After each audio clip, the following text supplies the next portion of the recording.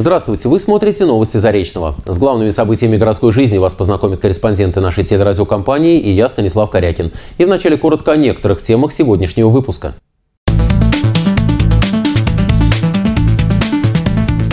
Молодым везде у нас дорога. В Заречном создается новый совещательный орган при собрании представителей – городской молодежный парламент. Это площадка, площадка для молодых людей, для того, чтобы они себя могли проявить. А мы вместе с ними формировали молодежную политику. Восстановление исторического памятника. Начался капитальный ремонт первой Зареченской школы.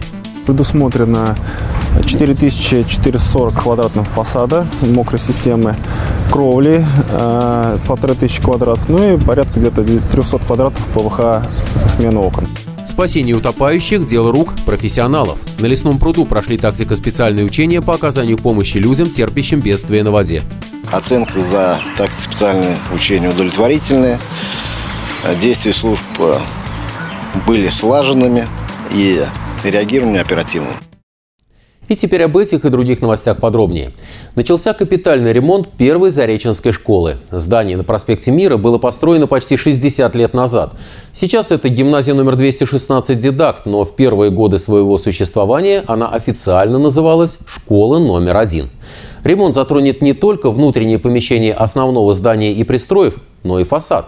Строители обещают сохранить уникальный облик здания, построенного в стиле русского классицизма. Елена Степкина с подробностями. В августе у гимназии 216 «Дидакт» будет новый облик. Над его созданием сейчас активно трудятся специалисты строительных организаций. Генеральный подрядчик – пензенская компания «Мастерская архитектуры». В данном контракте у нас предусмотрено 4440 квадратных фасада мокрой системы, кровли э, полторы тысячи квадратов, ну и порядка где-то 300 квадратов ПВХ со смены окон. Деньги на приведение в порядок старейшей школы города выделены в рамках реализации областной программы капитального ремонта общеобразовательных организаций. Работы проводятся на условиях софинансирования. 12 миллионов рублей предоставлено из регионального бюджета и 5 из местного. Если будут возникать какие-то дополнительные объемы работ, мы уже будем предусматривать средства из бюджета города. А, также мы понимаем, что мы а, не останавливаемся с капитальным ремонтом этого образовательного учреждения, мы продолжаем и планируем работу на следующий год. Если в этом году мы выполняем работы снаружи, то на следующий год мы планируем работы внутри здания. Ремонт строители начали с утепления здания. Работы ведутся и на основном корпусе, и на пристроях. Пока специалисты не трогают только фасад. К нему приступят в последнюю очередь. Задача рабочих – сохранить уникальность здания. Там лицевые вот, декоративные элементы, мы их, конечно, будем сохранять, э, реставрировать. Там, конечно, мы их специально оставили уже на летний период, когда у нас уже не будет ни дождей, и уже температура будет уже, как говорится, позволять. Ну и ребята уже, как говорится, уже руку набьют. То есть у нас уже будет цветовое решение, понимание. Цвет основного здания строители сохранят. В такой же гамме будут и пристрои. Их планируется сделать чуть ярче главного корпуса. В настоящее время на объекте трудится порядка 40 человек. Но, по словам главного инженера мастерской архитектуры, со временем число рабочих будет увеличено до 80. Весь запланированный объем работ им необходимо выполнить к 1 августа. Елена Степкина, Андрей Яркин, телерадиокомпания «Заречный». Зареченцы могут принять участие в создании логотипа праздничных торжеств, посвященных 60-летию Заречного. Юбилейный день рождения город отметит в 2018 году. Глава города объявил конкурс на лучший логотип юбилея. Об этом Олег Климанов сообщил в своем блоге. Победитель получит в награду памятный сертификат, подтверждающий его авторство. Церемония награждения пройдет на главной площади города в день празднования юбилейного дня рождения Заречного. Проекты логотипов принимаются до 18 июня. Присылать их нужно на электронную почту zar60 собака list.ru. Организация торжеств, обеспечение безопасности горожан во время праздника и необходимая материальная база. Эти три вопроса обсудили участники оргкомитета по подготовке и проведению празднования в Заречном Дня России. Основные мероприятия в рамках главного государственного праздника страны состоятся 12 июня на площади Ленина. Концертная программа «Россия. Сердце земли моей» рассчитана на два часа. Перед горожанами выступят воспитанники детско-юношеского центра «Юность», творческие коллективы. Самой зрелищной частью праздника станут показательные выступления силовиков. Мероприятие будет, мероприятие обещает быть интересным, потому что показательные выступления всех наших структур, отвечающих за безопасность. И детей много будет, и со спортивными номерами, и с творческими номерами. Я думаю, что, конечно, родители будут основными зрителями. И приглашайте тех, кто с дачи уже приедет или не поедет, чтобы они знали, что в нашем городе это будет, и приходили. Праздник продолжится в Центральном парке культуры и отдыха «Заречье». Там будут работать аттракционы и торговые ряды. Обращаю ваше внимание, что в связи с проведением торжеств в честь Дня России 12 июня с 15.30 до 18 часов будет закрыто движение по проспекту 30-летия Победы от перекрестка с улицы Комсомольской до пересечения с улицы Ленина. Соответственно, изменятся и маршруты движения общественного транспорта. Молодежный парламент планируется создать в Заречном. Он станет совещательным органом собрания представителей города. Предполагается, что участниками молодежного парламента станут 24 зареченца в возрасте от 14 до 35 лет. Школьники, студенты, работники производственного объединения «Старт» и других предприятий и организаций города. 8 июня с кандидатами в члены молодежного парламента встретился председатель собрания представителей Заречного Сергей Рузакин. Спасибо, Спасибо за вашу активность. Наталья Алдаева первая заявила о желании стать членом молодежного парламента. Анкету кандидата она заполнила на организационной встрече и сразу же передала ее председателю собрания представителей Заречного Сергею Рузайкину. Решение поработать в молодежном парламенте девушка приняла не раздумывая. Я уже представляю, что это такое. Я еще состою в Совете молодых работников по Старс. Мы тоже активничаем, и поэтому для меня это не впервые. Я представляю, что вообще и как. Свои идеи воплощать. Это, я считаю, что это очень интересно. Планируется, что молодежный парламент начнет работать в городе уже в ближайшее время. Он станет совещательным органом собрания представителей Заречного. Этот институт, скажем, молодежной политики, как молодежный парламент, он достаточно активно развивается, присутствует Сегодня у нас есть молодежный парламент при Заксобре Пензенской области, есть молодежные парламенты в районах при собраниях представителей, есть молодежный парламент э, при Государственной Думе Российской Федерации, там есть представители от Пензенской области. То есть, в принципе, такая интересная, интересный институт, интересная вертикаль. Кандидаты в члены молодежного парламента определены оргкомитетом по результатам проведенного в апреле молодежного форума. В совещательном органе собрания представителей Заречного будут 24 человека в возрасте от 14 до 35 лет. Среди них школьники, студенты вузов, работники предприятий, организаций и учреждений города. Главное, чтобы был, э, был порыв э, внутренний для того, чтобы себя проявить и реализовать эту себя через э, интересы в городе. Для нас молодежный парламент – это площадка для молодых людей, для того, чтобы они себя могли проявить. А мы вместе с ними формировали молодежную политику. На организационном собрании Сергей Рузакин предложил всем кандидатам, желающим поучаствовать в работе молодежного парламента города, заполнить анкеты и в ближайшее время направить их в оргкомитет. Окончательный состав утвердят депутаты собрания представителей Заречного на очередной сессии. После этого состоится первое заседание молодежного парламента. Оно пройдет во второй половине июня. Елена Степкина, Денис Дубицкий, телерадиокомпания «Заречный». Городские службы экстренного реагирования в 10 утра 8 июня были подняты по тревоге для оказания помощи человеку, терпящему бедствие на лесном пруду. Утопающего, в роли которого выступил профессиональный спасатель, удалось вытащить из воды. В зоне отдыха прошли тактико-специальные учения по оказанию помощи терпящим бедствие на воде. Холодное лето 2017-го не располагает к принятию водных процедур, ну разве что в баньке. Однако для служб экстренного реагирования это не повод отказаться от запланированных тренировок по защите граждан от несчастных случаев на водных объектах. Плановые тактико-специальные учения прошли в зоне отдыха «Лесная», отрабатывались действия по спасению человека, терпящего бедствие на воде. По легенде учений, купальщик заплыл за буйки и стал тонуть. Дежурные матросы-спасатели комбината благоустройства вытащили мужчину из воды и на лодке подвезли его к берегу, где медработник работник оказал ему первую доврачебную помощь. По тревоге на место ЧП прибыли сотрудники полиции, поисково-спасательного отряда управления гражданской защиты, скорой медицинской помощи. Спасатели передали пострадавшего врачам, которые увезли мужчину в медсанчасть. Вся операция по спасению утопающего заняла около пяти минут. Действия служб э, следует оценить как положительные. Оценка за так специальные учения удовлетворительные. Действия служб э, были слаженными и реагирование оперативным. Но, как говорится, на Бога, а в данном случае на спасателей, надейся, но сам не плашай. На месте утопающего, чью роль в данном случае исполнял профессиональный спасатель, может оказаться каждый. Но как выручить человека из беды, если рядом нет специалистов? И здесь владение элементарными навыками доврачебной помощи в прямом смысле жизненно необходимо. Если человек не дышит, нужно э, попытаться освободить ему дыхательные пути. В общем, положить его на живот. Лучше перегнуть через колено, чтобы вода вытекла из легких. Вот. Потом надо э, приступать к искусственной вентиляции легких. Проще всего это делать методом изо рта в нос. То есть через небольшую марлю, либо платочек вдыхать воздух э, в нос пострадавшего. Делаются два вдоха глубоких, выдыхается воздух, и потом начинаются массажные движения грудной клетки. Соотношение вдохов и массажных движений 2 к 30. На два вдоха делают 30 массажных движений. Пензенской области лишь два пляжа полностью соответствуют всем требованиям безопасности и санитарных норм – Лесной и Лермонтовский пруды Заречного. Рассчитывать на помощь профессионалов в других местах отдыха не стоит. И советы врача скорой помощи каждый должен усвоить, как дважды два. Станислав Корякин, Денис Дубицкий, телерадиокомпания «Заречный». 8 июня в Доме культуры «Дружба» принимали поздравления с профессиональным праздником те, чья работа – утешать, поддерживать, помогать в решении житейских проблем. День социального работника отмечается ежегодно. Праздник был установлен в 2000 году, но его история уходит своими корнями в далекое прошлое.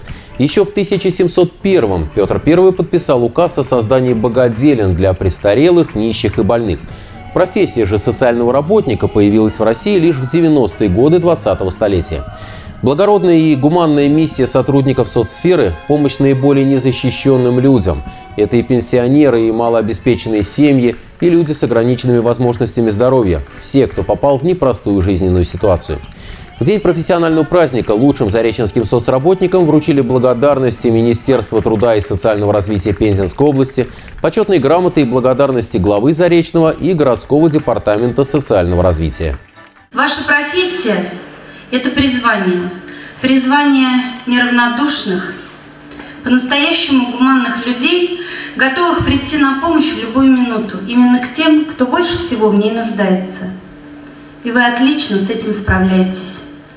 Ваше большое, доброе сердце открыто для всех. О работе Департамента социального развития Заречного и оказываемых услугах мы сегодня поговорим с начальником департамента Дмитрием Мельниковым. Интервью в студии после рекламы, а пока к другим новостям. 8 июня девятиклассники сдали очередные экзамены по выбору. В один день проводилось сразу четыре выпускных испытания. Школьники выполняли работы по информатике, химии, географии и обществознанию.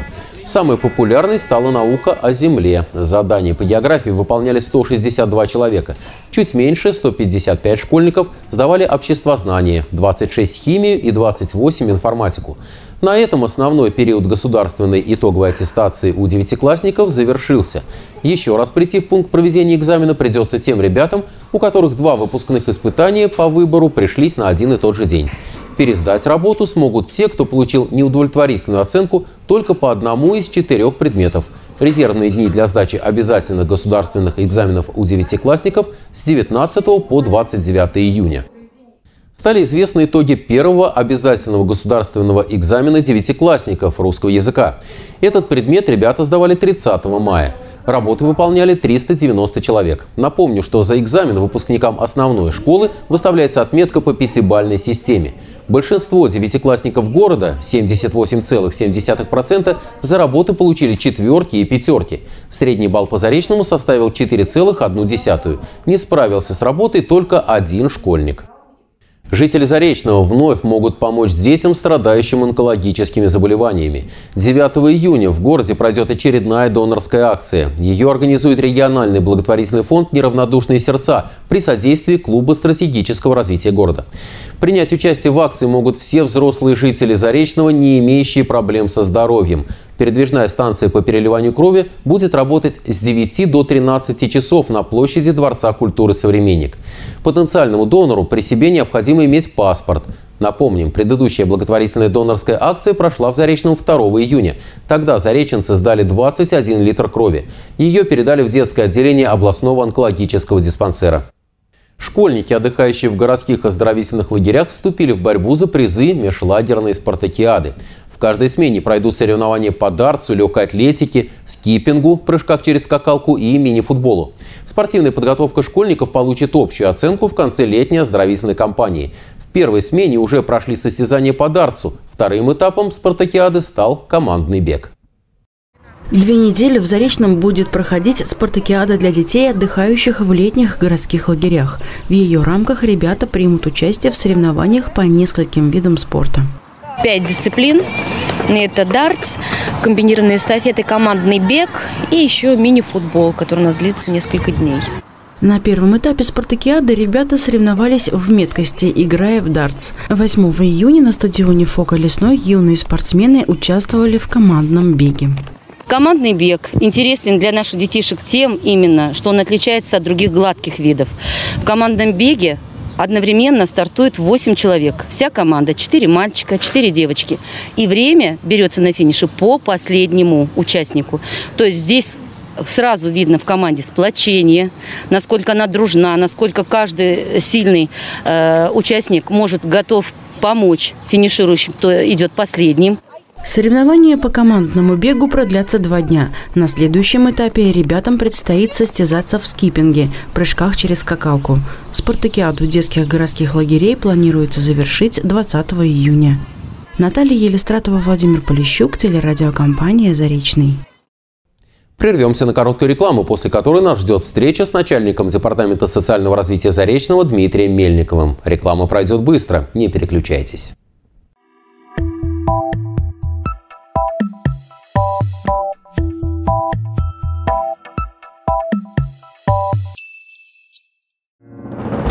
Живешь в прекрасном городе. А знаешь ли ты, кто стоял у его истоков и кто его создавал? Благодаря кому ты гордишься своим городом? Впиши страницу в историю Заречного. Прими участие в конкурсе «Слава Созидателям». Все подробности на сайте слава-созидателям.ру Превратите труд в удовольствие вместе с магазином «Наша дача». Огромный выбор семян, грунтов, удобрений, средств защиты растений от болезней и вредителей, укрывной материал и садовый инвентарь. Приходите в магазин «Наша дача» по адресу Заречный, улица Комсомольская, 12, дробь 2, бывшее отделение Сбербанка. Телефон 25 67 97. Оборудование Тамаша будет производить высококлассный бензин. Росатом отмечен правительством за вклад в экологию. Снежинску рассказали о легендарном министре. Смотрите в среду в 20.00. Медиклиник – современная многопрофильная клиника, инновационные медицинские технологии, врачи более 40 специальностей. Медиклиник – путь к здоровью всей семьи. Надежные кондиционеры Зануси. Всего 15 900 рублей. Телефон 23 24 04. В компании «Ремстрой».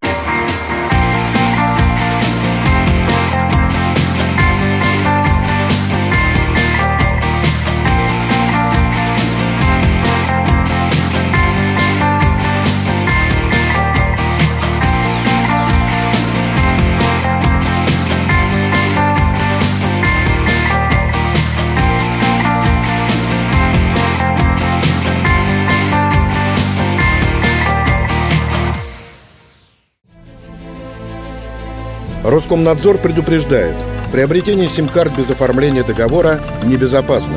Всегда покупайте сим-карты в официальных салонах связи. Договор с оператором связи – ваша защита и безопасность.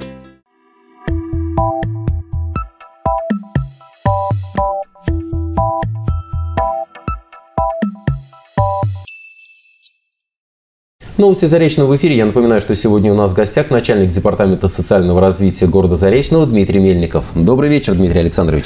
Добрый вечер. Мы вас пригласили не случайно. Сегодня, а, в этот день, 8 июня, отмечается День социального работника России. Праздник очень старый, установлен еще в петровские времена. А, вот хотелось бы, чтобы вы сегодня рассказали о своей работе, о работе ваших сотрудников, потому что многие зареченцы, которые не сталкивались э, с Департаментом социального развития, плохо себе представляют специфику и вообще, что же это за структура и что за люди там работают, чем они занимаются. Э, спасибо за поздравление. Э, в настоящее время в городе социальную защиту и социальную поддержку граждан осуществляют два учреждения. Это, собственно говоря, сам Департамент социального развития и подведомственное ему учреждение Комплексный центр социального обслуживания населения города Заречного Пензенской области. Э, одной из основных деятельностей Департамента социального развития является а, осуществление государственных полномочий как э, федерального, так э, регионального, так и субъекта Российской Федерации. Основной мерой поддержки э, социальной из местного бюджета является поддержка семей с детьми. А, также а, Департамент социального развития а, включает деятельность по обеспечению равных условий для людей-инвалидов. Угу. С целью реализации данной программы, а данная программа рассчитана на 2016-2020 год, проведен мониторинг объектов социальной инфраструктуры, необходимых для людей-инвалидов, составлена дорожная карта по взаимодействию э, между структурами власти. Э, и также создана в настоящее время рабочая комиссия для обследования э, места жительства инвалидов и многоквартирных домов с целью приспособления их, чтобы элементарно поставить пандусы, либо как-то другими способами помочь этим людям передвигаться, чтобы они э, включались э, в нашу жизнь, чтобы они были у нас мобильными. А следующее – Э, в городе организована служба социального такси, угу. Которая э, предназначена для, детей, для людей с нарушениями опорно-двигательного аппарата, а также для детей-инвалидов, не достигших возраста 18 лет, которые также имеют данные нарушения. Кроме того, работает пункт проката – Э, который, в котором можно взять на прокат э, любые средства для реабилитации. Это костыли, трости и так далее и тому подобное. Кроме того, реализуются э, другие мероприятия, программы по социальной поддержке граждан города Заречного Пензенской области на 2015-2020 год которые э, предусматривают э, первые это э, вручение знака главы города Заречного Пензенской области за достойное воспитание детей, многодетным матерям материнской доблести. Далее проводится ежегодно чествование ликвидаторов Чернобыльской АЭС. Для них проводится ежегодно вечер памяти. А, кроме того, проводятся поздравления ветеранов Великой Отечественной войны ежегодно перед 9 мая. А, кроме того, проводится оздоровление и лечение на базе э, городского учреждения здравоохранения а, санаторий профилакторий. То есть э, это как раз являются основными э, мероприятиями Департамента социального развития города.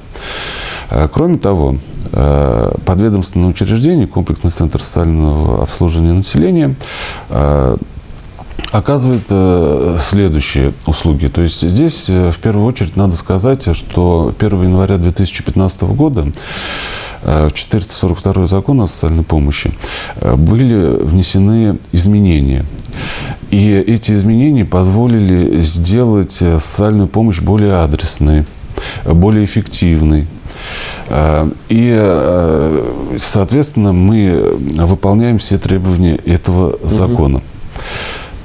В первую очередь комплексный центр социального обслуживания населения проводит э, реабилитационные мероприятия с детьми-инвалидами. Второе направление деятельности – это дети, которые выбыли из системы образования – То есть там ведется элементарный патронаж, чтобы у нас дети были под присмотром, чтобы у нас с ребятами все, с этими ребятами было все хорошо. Отделение дневного пребывания несовершеннолетних, это вот как раз где в основной своей массе 90, дети-инвалиды, насчитывает 99 детей угу. на настоящий момент. Использование в реабилитации новых методов и технологий способствует расширению аспекта предоставляемых услуг детям-инвалидам и их семьям и значительно улучшает их качество, позволяет проводить реабилитационные мероприятия на современном уровне. С 2016 года несовершеннолетним предоставляются платные дополнительные социальные услуги, включая детей, проживающих за пределами ЗАТа город Заречный. В работе с пожилыми гражданами и инвалидами в КСОН используются различные стратегии и инновационные подходы. Так, среди граждан, состоящих на обслуживании в доме интерната, а сейчас в доме интерната находится 60 человек, угу. с каждым годом увеличивается количество тяжелобольных и немощных людей находящихся на постельном режиме, нуждающихся в постоянном уходе и наблюдении. С целью повышения качества и доступности предоставляемых услуг э, и в структуру дома-интерната было введено подразделение «Милосердие». Ну что ж, Дмитрий Александрович, я благодарю вас за участие в нашей программе, и у вас есть уникальная возможность обратиться с поздравлением к вашим коллегам. Уважаемые коллеги, э, как сказал Платон, стараясь обеспечить счастьем другим, мы обретаем свое собственное счастье. Э, этот год знаменательный для всей нашей службы – Сегодня исполняется 25 лет со дня ее образования.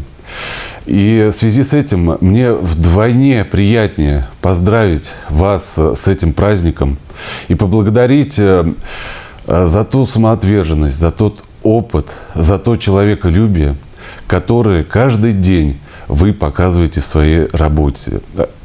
Э, за то, что вы не остаетесь равнодушными к людям, которые попали в трудную жизненную ситуацию. От чистого сердца я желаю, чтобы все то, что вы отдаете людям, вернулось э, к нам в виде собственного счастья. Спасибо еще раз и с праздником. Спасибо вам, Дмитрий Александрович, за участие в нашей программе. Э, спасибо вам за ваш труд и всего вам самого доброго. Это все, о чем мы успели рассказать вам сегодня. Я прощаюсь с вами и вам всего самого доброго и до встречи на канале Заречный.